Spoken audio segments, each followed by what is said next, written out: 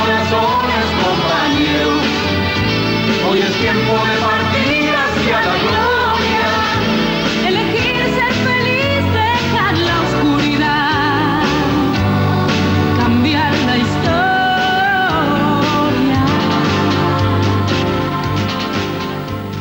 Recién en 1973, durante el gobierno justicialista de Carlos Menem, la provincia de La Rioja ingresó a la Argentina industrial y tuvo su régimen promocional.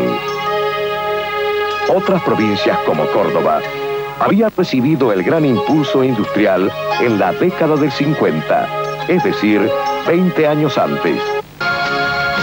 Hace 15 años, en este sitio había solo una piedra basal. Hoy se levanta el Parque Industrial de La Rioja con varias decenas de empresas y miles de fuentes de trabajo. Por eso Carlos Menem es un pionero, no un simple administrador de obras ajenas. En esta realidad se fundamenta su propuesta.